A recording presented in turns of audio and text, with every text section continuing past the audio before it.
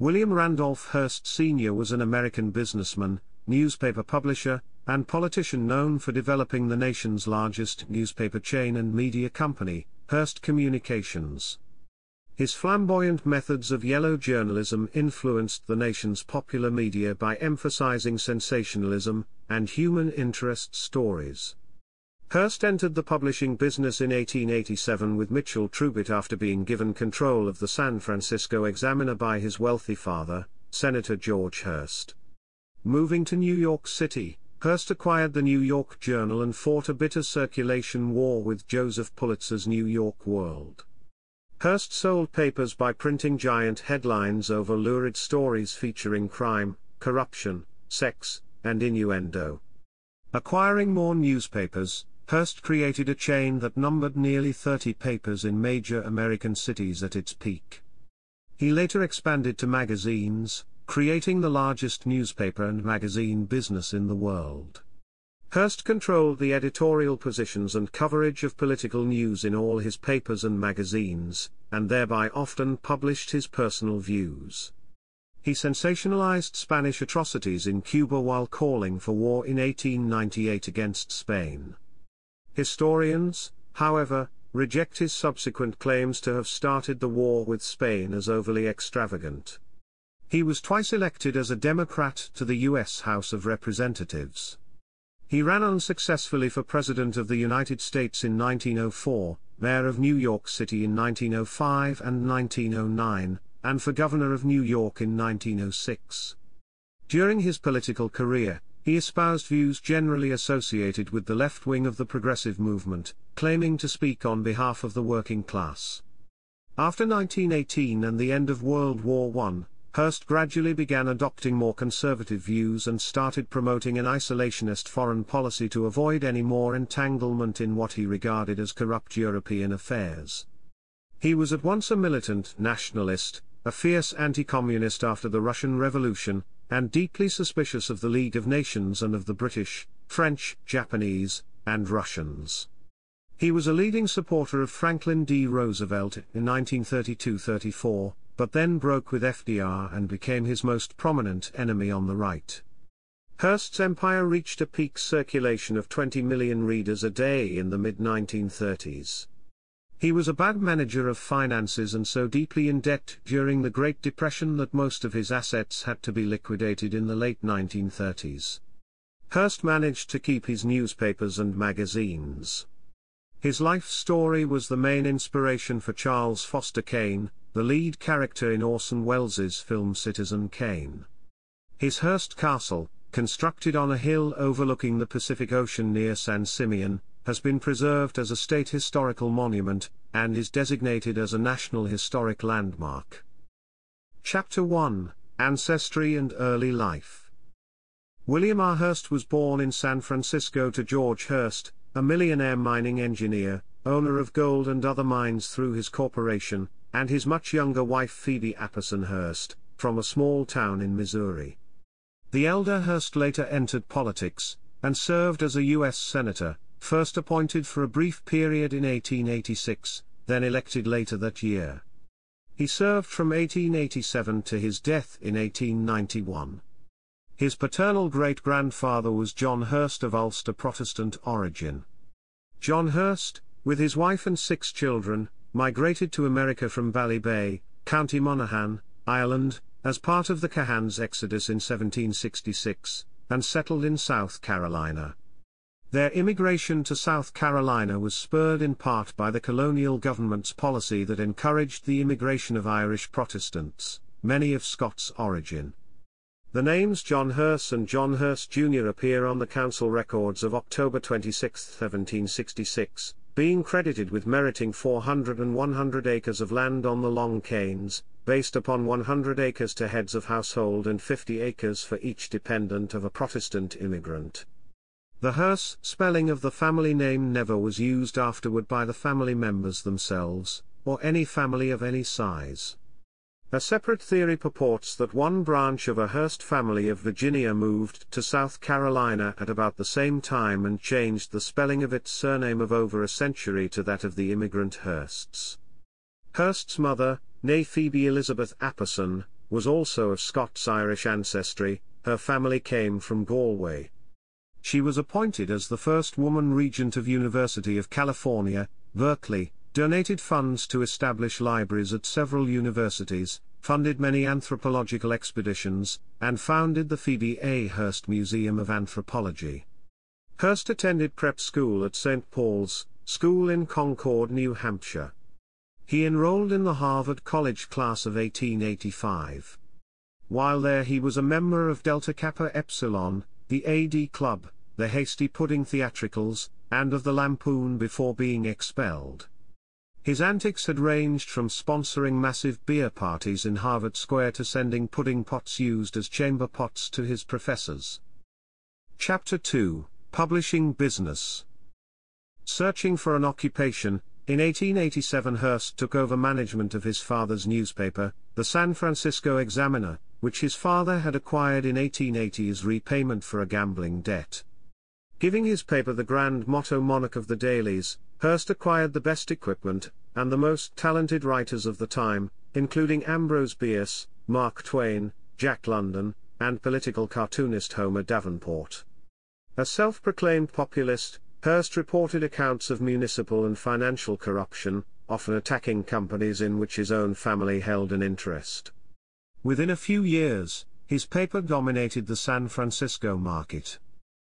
Chapter 3 New York Morning Journal Early in his career at the San Francisco Examiner, Hearst envisioned running a large newspaper chain, and always knew that his dream of a nation-spanning, multi-paper news operation was impossible without a triumph in New York.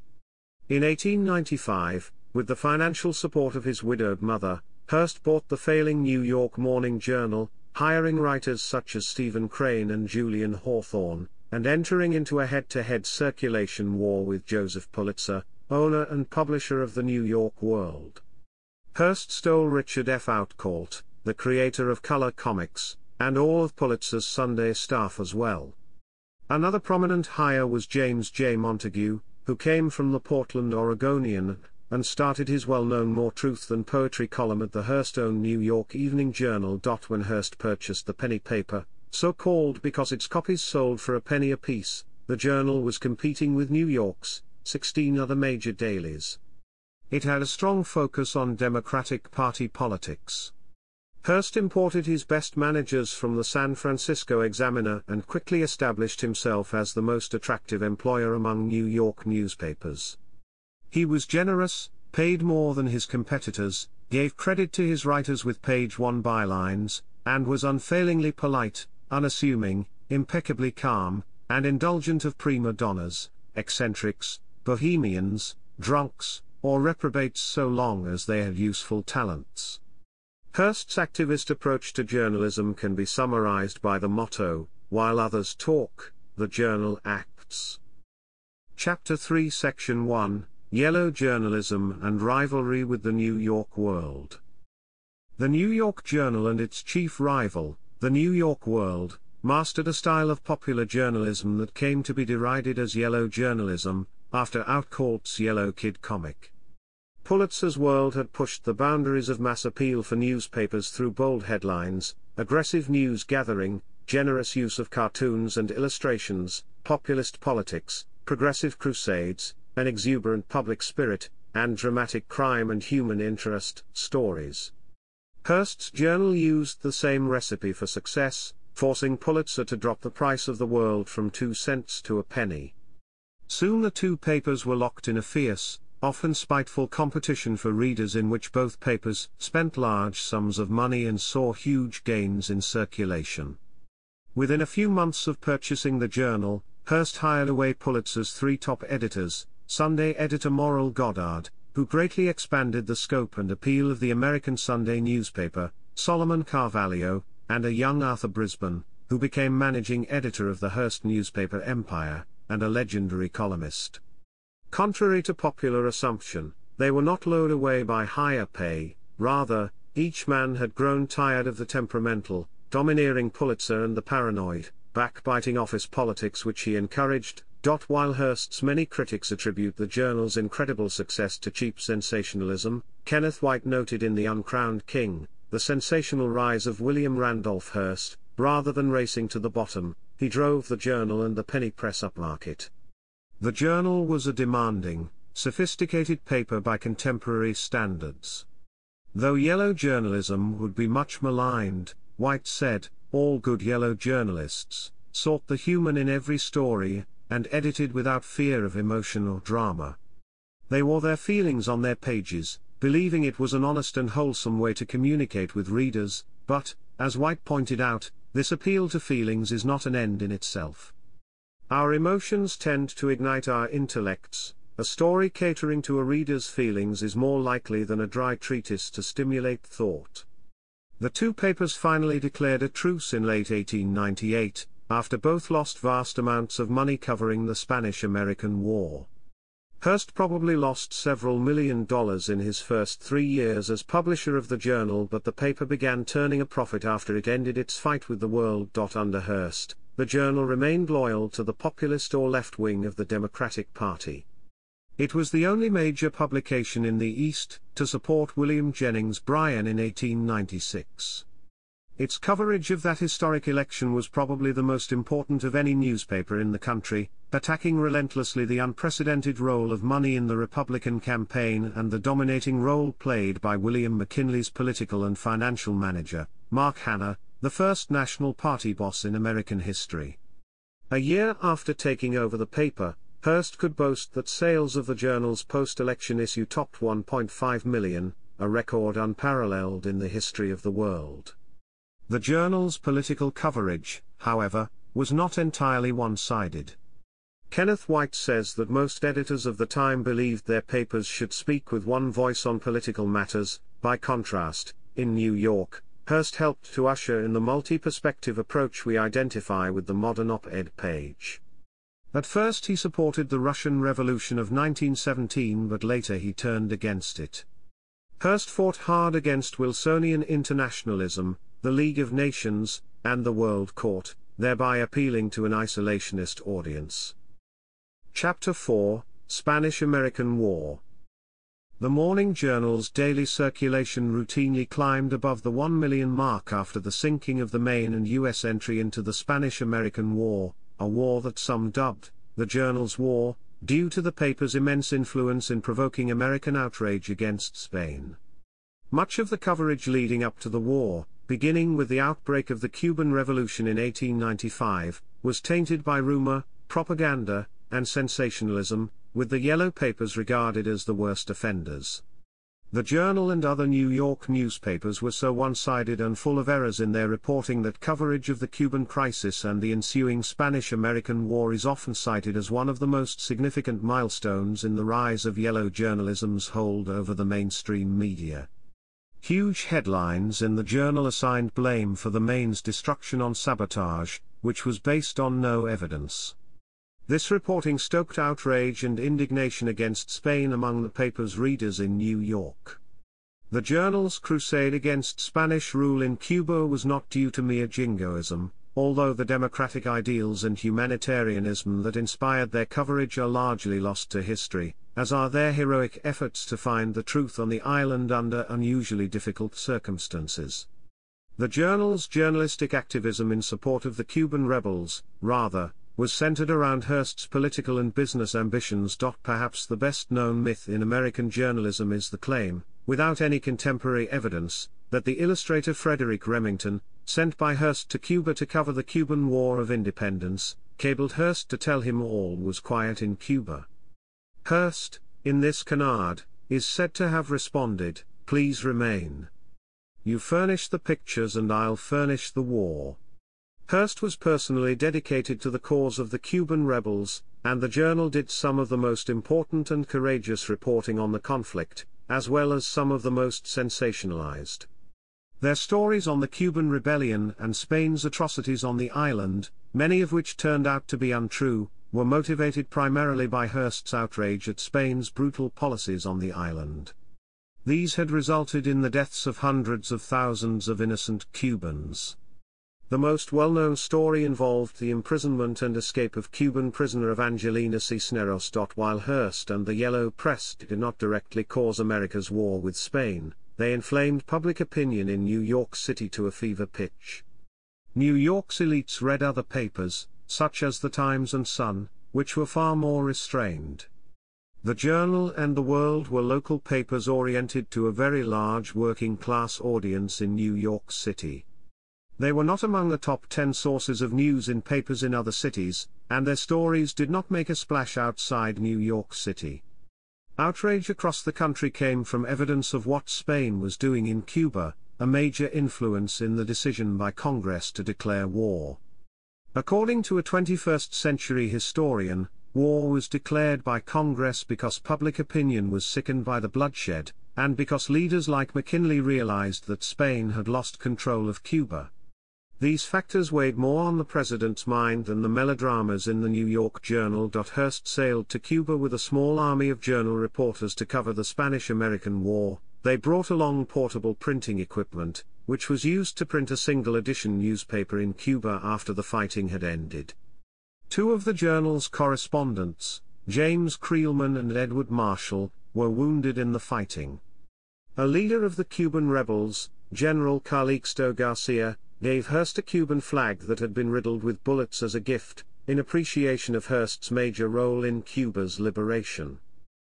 Chapter 5 Expansion In part to aid in his political ambitions, Hearst opened newspapers in other cities, among them Chicago, Los Angeles, and Boston. In 1915, he founded International Film Service, an animation studio designed to exploit the popularity of the comic strips he controlled. The creation of his Chicago paper was requested by the Democratic National Committee. Hearst used this as an excuse for his mother Phoebe Hearst to transfer him the necessary startup funds. By the mid-1920s he had a nationwide string of 28 newspapers, among them the Los Angeles Examiner, the Boston American, the Atlanta Georgian, the Chicago Examiner, the Detroit Times, the Seattle Post Intelligencer, the Washington Times, the Washington Herald, and his flagship, the San Francisco Examiner. Hearst also diversified his publishing interests into book publishing and magazines. Several of the latter are still in circulation, including such periodicals as Cosmopolitan, Good Housekeeping, Town, and Country, and Harper's Bazaar. In 1924, Hearst opened the New York Daily Mirror, a racy tabloid frankly imitating the New York Daily News. Among his other holdings were two news services, Universal News and International News Service, or INS, the latter of which he founded in 1909. He also owned INS companion radio station WINS in New York, King Features Syndicate, which still owns the copyrights of a number of popular comics characters, a film company, Cosmopolitan Productions, extensive New York City real estate, and thousands of acres of land in California and Mexico, along with timber and mining interests inherited from his father. Hearst promoted writers and cartoonists despite the lack of any apparent demand for them by his readers. The press critic A.J. Liebling reminds us how many of Hearst's stars would not have been deemed employable elsewhere. One Hearst favorite, George Herriman, was the inventor of the dizzy comic strip Krazy Kat. Not especially popular with either readers or editors when it was first published, in the 21st century, it is considered a classic, a belief once held only by Hearst himself. In 1929, he became one of the sponsors of the first round-the-world voyage in an airship, the LZ-127 Graf Zeppelin from Germany. His sponsorship was conditional on the trip starting at Lakehurst Naval Air Station, New Jersey. The ship's captain, Dr. Hugo Eckener, first flew the Graf Zeppelin across the Atlantic from Germany to pick up Hearst's photographer and at least three Hearst correspondents. One of them, Grace Marguerite Hay Drummond Hay, by that flight became the first woman to travel around the world by air. The Hearst News empire reached a revenue peak about 1928, but the economic collapse of the Great Depression in the United States and the vast overextension of his empire cost him control of his holdings. It is unlikely that the newspapers ever paid their own way, mining, ranching and forestry provided whatever dividends the Hearst Corporation paid out. When the collapse came, all Hearst properties were hit hard, but none more so than the papers. Hearst's conservative politics, increasingly at odds with those of his readers, worsened matters for the once great Hearst media chain. Having been refused the right to sell another round of bonds to unsuspecting investors, the shaky empire tottered. Unable to service its existing debts, Hearst Corporation faced a court-mandated reorganization in 1937. From that point, Hearst was reduced to being an employee, subject to the directives of an outside manager.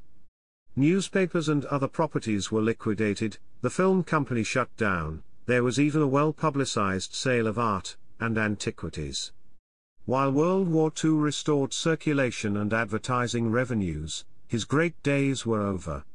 The Hearst Corporation continues to this day as a large, privately held media conglomerate based in New York City. Chapter 6 Involvement in Politics Hearst won two elections to Congress, then lost a series of elections. He narrowly failed in attempts to become mayor of New York City in both 1905 and 1909 and governor of New York in 1906, nominally remaining a Democrat while also creating the Independence Party. He was defeated for the governorship by Charles Evans Hughes. Hearst's unsuccessful campaigns for office after his tenure in the House of Representatives earned him the unflattering but short-lived nickname of William also Randolph Hearst, which was coined by Wallace Irwin. Hearst was on the left wing of the progressive movement, speaking on behalf of the working class and denouncing the rich and powerful. With the support of Tammany Hall, Hearst was elected to Congress from New York in 1902 and 1904. He made a major effort to win the 1904 Democratic nomination for president, losing to conservative Alton B. Parker. Breaking with Tammany in 1907, Hearst ran for mayor of New York City under a third party of his own creation, the Municipal Ownership League. Tammany Hall exerted its utmost to defeat him. An opponent of the British Empire, Hearst opposed American involvement in the First World War and attacked the formation of the League of Nations. His newspapers abstained from endorsing any candidate in 1920 and 1924. Hearst's last bid for office came in 1922, when he was backed by Tammany Hall leaders for the U.S. Senate nomination in New York. Al Smith vetoed this, earning the lasting enmity of Hearst. Although Hearst shared Smith's opposition to prohibition, he swung his papers behind Herbert Hoover in the 1928 presidential election. Hearst's support for Franklin D. Roosevelt, at the 1932 Democratic National Convention, via his allies William Gibbs McAdoo and John Nance Garner, can also be seen as part of his vendetta against Smith, who was an opponent of Roosevelt's at that convention.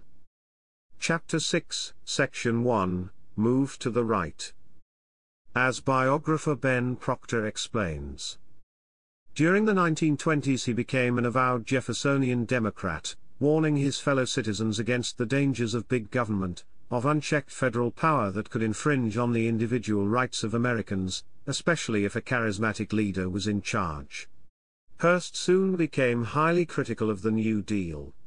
With increasing frequency Hearst newspapers supported big business to the detriment of organized labor. With unabated vigor they condemned higher income tax legislation as a persecution of the successful. Hearst broke with FDR in spring 1935 when the president vetoed the Patman bonus bill for veterans and tried to enter the World Court.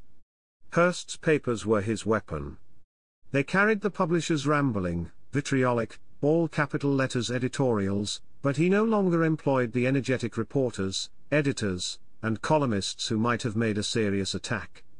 He reached 20 million readers in the mid 1930s, but they included much of the working class which Roosevelt had attracted by 3 to 1 margins in the 1936 election.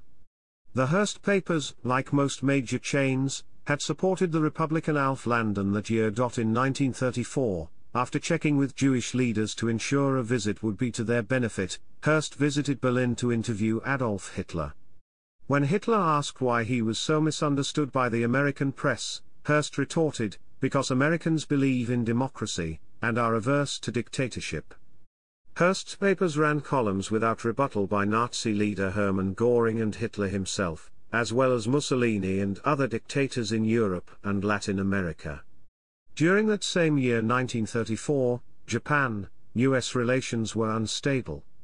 In an attempt to remedy this, Prince Tokugawa Iesato traveled throughout the United States on a goodwill visit. During his visit, Prince Iesato and his delegation met with William Randolph Hearst with the hope of improving mutual understanding between the two nations. Chapter 7 Personal Life Chapter 7 Section 1 Millicent Willson In 1903, Hearst married Millicent Veronica Willson, a 21-year-old chorus girl, in New York City. Evidence in Louis Pizzitola's book, Hearst over Hollywood, indicates that Millicent's mother Hannah Willson ran a Tammany-connected and protected brothel near the headquarters of political power in New York City at the turn of the 20th century. Millicent bore him five sons, George Randolph Hearst, born on April 23, 1904, William Randolph Hearst Jr., born on January 27, 1908, John Randolph Hearst, born in 1910, and twins Randolph Apperson Hearst and David Whitmire Hearst, born on December 2, 1915.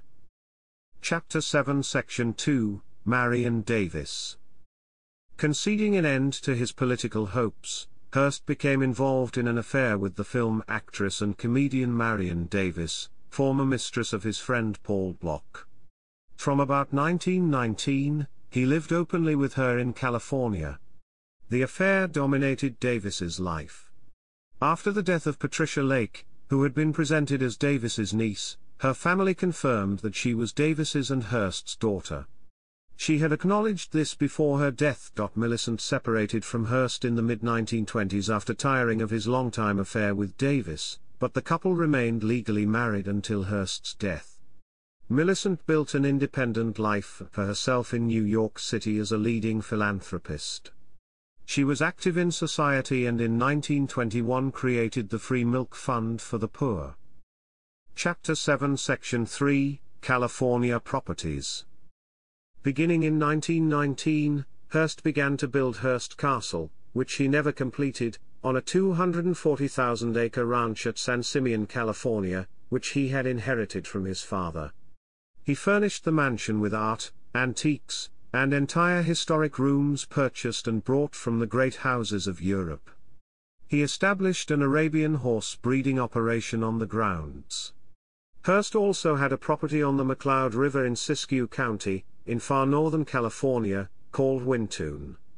The buildings at Wyntoun were designed by architect Julia Morgan, who also designed Hearst Castle and worked in collaboration with William J. Dodd on a number of other projects. In 1947, Hearst paid $120,000 for an H-shaped Beverly Hills mansion, on 3.7 acres 3 blocks from Sunset Boulevard. The Beverly House, as it has come to be known, has some cinematic connections. According to Hearst over Hollywood, John and Jacqueline Kennedy stayed at the house for part of their honeymoon. The house appeared in the film The Godfather. In the early 1890s, Hearst began building a mansion on the hills overlooking Pleasanton, California on land purchased by his father a decade earlier. Hearst's mother took over the project, hired Julia Morgan to finish it as her home, and named it Hacienda del Pozo de Verona. After her death, it was acquired by Castlewood Country Club, which used it as their clubhouse from 1925 to 1969, when it was destroyed in a major fire. Chapter 7 Section 4 Art Collection Hearst was renowned for his extensive collection of international art that spanned centuries. Most notable in his collection were his Greek vases, Spanish and Italian furniture, Oriental carpets, Renaissance vestments, an extensive library with many books signed by their authors, and paintings and statues. In addition to collecting pieces of fine art, he also gathered manuscripts, rare books, and autographs. His guests included varied celebrities and politicians, who stayed in rooms furnished with pieces of antique furniture and decorated with artwork by famous artists. Beginning in 1937, Hearst began selling some of his art collection to help relieve the debt burden he had suffered from the Depression. The first year he sold items for a total of $11 million. In 1941 he put about 20,000 items up for sale, these were evidence of his wide and varied tastes. Included in the sale items were paintings by Van Dyck, croziers, chalices, Charles Dickens's sideboard, pulpits, stained glass, arms and armor, George Washington's waistcoat, and Thomas Jefferson's Bible. When Hearst Castle was donated to the state of California, it was still sufficiently furnished for the whole house to be considered and operated as a museum. Chapter 7 Section 5 St. Donat's Castle After seeing photographs, in Country Life magazine, of St. Donat's Castle in Vale of Glamorgan, Wales, Hearst bought and renovated it in 1925 as a love gift to Davies. The castle was restored by Hearst, who spent a fortune buying entire rooms from castles and palaces in Europe. The Great Hall was bought from the Bradenstoke Priory in Wiltshire and reconstructed brick by brick in its current site at St. Donat's Castle. From the Bradenstoke Priory, he also bought and removed the guest house, Prior's Lodging, and Great Tithe Barn, of these, some of the materials became the St. Donat's Banqueting Hall, complete with a 16th century French chimney piece and windows, also used were a fireplace dated to circa 1514 and a 14th century roof, which became part of the Bradenstoke Hall, despite this use being questioned in Parliament.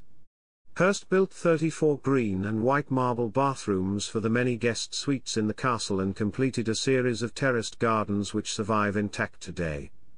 Hearst and Davies spent much of their time entertaining and held a number of lavish parties, the guests at which included Charlie Chaplin, Douglas Fairbanks, Winston Churchill, and a young John F. Kennedy. When Hearst died, the castle was bought by Atlantic College, an international boarding school, which still uses it. Chapter 7 Section 6 Interest in Aviation Hearst was particularly interested in the newly emerging technologies relating to aviation and had his first experience of flight in January 1910, in Los Angeles. Louis Paulhan, a French aviator, took him for an air trip on his Farman biplane. Hearst also sponsored Old Glory as well as the Hearst Transcontinental Prize. Chapter 7 Section 7 Financial Disaster Hearst's crusade against Roosevelt and the New Deal, combined with Union strikes and boycotts of his properties, undermined the financial strength of his empire. Circulation of his major publications declined in the mid-1930s, while rivals such as the New York Daily News were flourishing. He refused to take effective cost-cutting measures, and instead increased his very expensive art purchases. His friend Joseph P. Kennedy offered to buy the magazines, but Hearst jealously guarded his empire and refused. Instead, he sold some of his heavily mortgaged real estate. San Simeon itself was mortgaged to Los Angeles Times owner Harry Chandler in 1933 for $600,000. Finally, his financial advisors realized he was tens of millions of dollars in debt, and could not pay the interest on the loans, let alone reduce the principal. The proposed bond sale failed to attract investors, as Hearst's financial crisis became widely known. As Marion Davies's stardom waned, Hearst's movies also began to hemorrhage money. As the crisis deepened, he let go of most of his household staff, sold his exotic animals to the Los Angeles Zoo, and named a trustee to control his finances. He still refused to sell his beloved newspapers. At one point, to avoid outright bankruptcy, he had to accept a $1 million loan from Marion Davies, who sold all her jewelry, stocks and bonds to raise the cash for him. Davies also managed to raise him another million as a loan from Washington Herald owner Cissy Patterson. The trustee cut Hearst's annual salary to $500,000, and stopped the annual payment of $700,000 in dividends. He had to pay rent for living in his castle at San Simeon. Legally Hearst avoided bankruptcy, although the public generally saw it as such as appraisers went through the tapestries, paintings, furniture, silver, pottery, buildings, autographs, jewelry, and other collectibles. Items in the thousands were gathered from a five-story warehouse in New York, warehouses near San Simeon containing large amounts of Greek sculpture and ceramics, and the contents of St. Donat's. His collections were sold off in a series of auctions and private sales in 1938-39. John D. Rockefeller, Jr., bought $100,000 of antique silver for his new museum at Colonial Williamsburg. The market for art and antiques had not recovered from the Depression, so Hearst made an overall loss of hundreds of thousands of dollars. During this time, Hearst's friend George Loorz commented sarcastically, he would like to start work on the outside pool, start a new reservoir etc. but told me yesterday I want so many things but haven't got the money. Poor fellow, let's take up a collection. He was embarrassed in early 1939 when Time magazine published a feature which revealed he was at risk of defaulting on his mortgage for San Simeon and losing it to his creditor and publishing rival, Harry Chandler. This, however, was averted, as Chandler agreed to extend the repayment. Chapter 8 Final Years and Death After the disastrous financial losses of the 1930s, the Hearst Company returned to profitability during the Second World War, when advertising revenues skyrocketed. Hearst, after spending much of the war at his estate of Wyntoon, returned to San Simeon full-time in 1945 and resumed building works. He also continued collecting, on a reduced scale. He threw himself into philanthropy by donating a great many works to the Los Angeles County Museum of Art. In 1947, Hearst left his San Simeon estate to seek medical care, which was unavailable in the remote location. He died in Beverly Hills on August 14, 1951, at the age of 88. He was interred in the Hearst family mausoleum at the Cypress Lawn Cemetery in Colma, California, which his parents had established. His will established two charitable trusts, the Hearst Foundation and the William Randolph Hearst Foundation.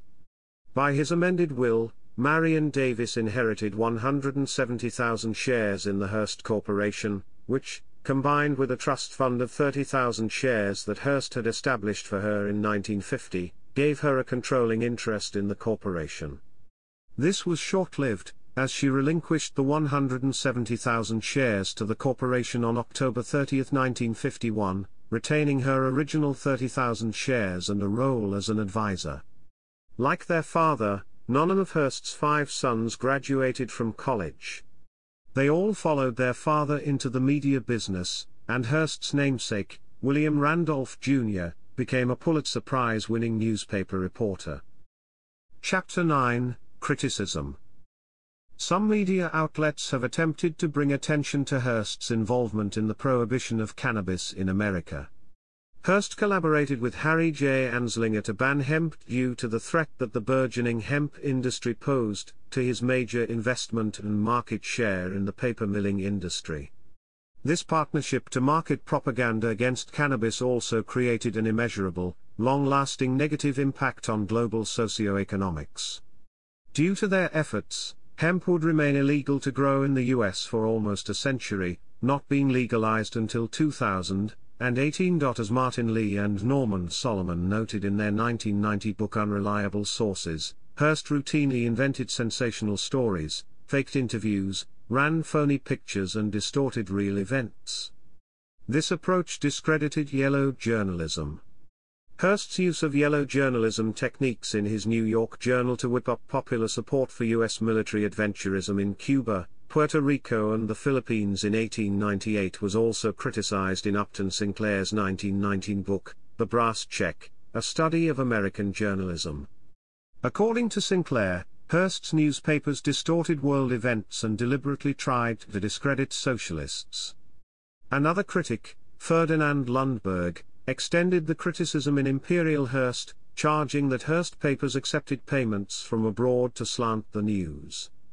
After the war, a further critic, George Seldes, repeated the charges in Facts and Fascism. Lundberg described Hearst the weakest strong man and the strongest weak man in the world today. A giant with feet of clay. Chapter 10, in Fiction. Chapter 10 Section 1, Citizen Kane. The film Citizen Kane is loosely based on Hearst's life. Welles and his collaborator, Screenwriter Herman J. Mankiewicz created Kane as a composite character, among them Harold McCormick, Samuel Insull and Howard Hughes. Hearst, enraged at the idea of Citizen Kane being a thinly disguised and very unflattering portrait of him, used his massive influence and resources to prevent the film from being released, all without even having seen it. Welles and the studio RKO Pictures resisted the pressure but Hearst and his Hollywood friends ultimately succeeded in pressuring theater chains to limit showings of Citizen Kane, resulting in only moderate box office numbers and seriously impairing Welles's career prospects. The fight over the film was documented in the Academy Award-nominated documentary, The Battle Over Citizen Kane, and nearly 60 years later, HBO offered a fictionalized version of Hearst's efforts in its original production RKO 281, in which James Cromwell portrays Hearst.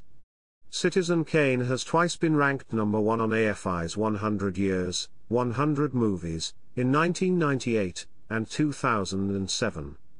In 2020, David Fincher directed Mank, starring Gary Oldman as Herman J. Mankiewicz, as he interacts with Hearst prior to the writing of Citizen Kane's screenplay. Charles Dance portrays Hearst in the film. Chapter 10 Section 2 Other Works Chapter 10 Section 2 Subsection 2 Films In the television film Rough Riders, Hearst is depicted as traveling to Cuba with a small band of journalists, to personally cover the Spanish-American War. Hearst is mentioned in the Disney movie Newsies, directed by Kenny Ortega, which depicts the newsboys' strike of 1899. Hearst is never seen on screen but is referenced by several of the Newsies in various musical numbers, and is portrayed as an antagonist engaged in a bitter circulation war with Joseph Pulitzer. In the HBO movie Winchell, Kevin Tighe played Hearst. In RKO 281 he was played by James Cromwell. The Cat's Meow, a drama film inspired by the mysterious death of film mogul Thomas H. Ince, takes place in November 1924, on a weekend cruise aboard publisher William Randolph Hearst's yacht, celebrating Ince's 44th birthday. The film portrays the long-standing Hollywood rumor that Hearst shot Ince and covered it up. Hearst is portrayed by Edward Herrmann. He is portrayed by Matthew Marsh in Agnieszka Holland's 2019 film, Mr. Jones. He is portrayed by Charles Dance in David Fincher's 2020 film, Mank. Chapter 10 Section 2 Subsection 3 Literature John Dos Passos's novel The Big Money includes a biographical sketch of Hearst. Jack London's futuristic, dystopian novel of 1907, The Iron Heel, refers to Hearst by name, and the plot predicts the destruction of his publishing empire in 1912, by means of an oligarchy of plutocrats and industrial trusts engineering the cessation of his advertising revenue. In Ayn Rand's novel The Fountainhead and its eponymous 1949 film adaptation, the character Gale Wynand, a newspaper magnate who thinks he can control public sentiment, but in reality is only a servant of the masses, is inspired by and modeled after the life of William Randolph Hearst. In John Steinbeck's novel The Grapes of Wrath, Hearst is anonymously described as the newspaper fella near the coast who got a million acres and looks crazy and mean in pictures. In Gore Vidal's historic novel series, Narratives of Empire, Hearst is a major character. Scott Westerfeld's novel Goliath depicts Hearst in World War I. Chapter 10 Section 2 Subsection 4 Television the rivalry between Hearst and Joseph Pulitzer has been documented on National Geographic Channel's series American Genius. In the TNT series The Alienist, in the second season played by Matt Letscher. In the Paper Dynasty episode of the syndicated Western television series, Death Valley Days, hosted by Stanley Andrews. In the storyline, Hearst struggles to turn a profit despite increased circulation of the San Francisco Examiner, featuring James Lanphier as Ambrose Bierce and Robert O. Cornthwaite as Sam Chamberlain. In The Odyssey, a 1979 episode of the television series Little House on the Prairie, Hearst is depicted as a friendly and talented young San Francisco journalist. Hearst appears in the season 2 episode Hollywoodland of the NBC series Timeless. Chapter 10 Section 3 Sources Carlson, Oliver. Hearst, Lord of San Simeon. Read books. ISBN 978 14067 6684 4. Nasaw, David. The Chief, The Life of William Randolph Hearst. Boston, Houghton Mifflin. ISBN 0395 82759 0. Robinson, Judith. The Hearsts, An American Dynasty. University of Delaware Press. ISBN 087413 383 1. Whyte, Kenneth. The Uncrowned King, The Sensational Rise of William Randolph Hearst. Berkeley, Counterpoint. ISBN 9781582439439,853.